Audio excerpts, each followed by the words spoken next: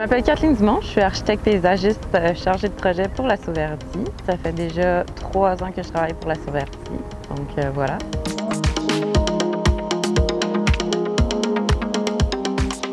En fait, la Sauverdie, c'est un organisme de verdissement qui a été créé en 92 qui est un partenaire de la Ville de Montréal pour les plantations sur les lieux institutionnels, commerciaux, privés. Donc, euh, le but étant, de, via le plan d'action forêt urbaine, d'augmenter la, canopée de l'île de Montréal à 25% euh, de la surface de l'île pour 2025.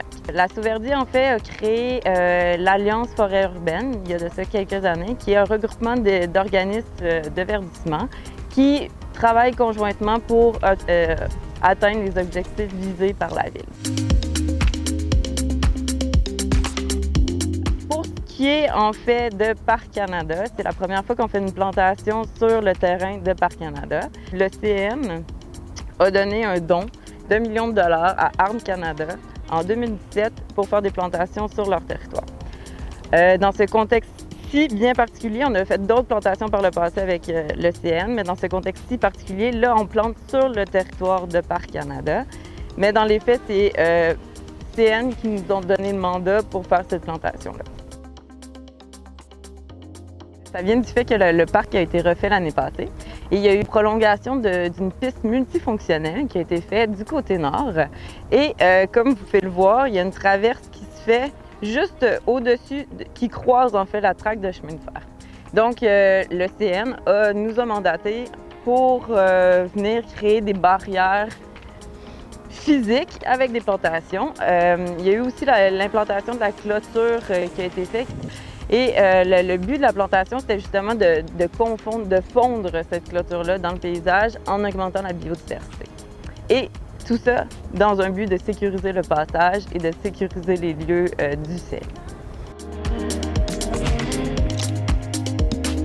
La sélection végétale a été faite euh, en fonction des contraintes du site. Comme vous le voyez aujourd'hui, il y a quand même beaucoup de vent. Puis là, c'est pas une des journées les plus venteuses qu'on a eues euh, pour la plantation, entre autres. Mais l'hiver, le canal crée un immense corridor de vent avec euh, des, vents froids. Donc, on est allé avec des espèces super rustiques à la base. Donc, on parle de... Euh, on a des sorbiers, amélanchiers, euh, ostriers, on a des pommiers, donc tilleuls. C'est quand même des espèces qui poussent naturellement au Québec et qui ont une, zone de rusticité en fait, euh, qui tourne autour de 2, 3, 4 au maximum.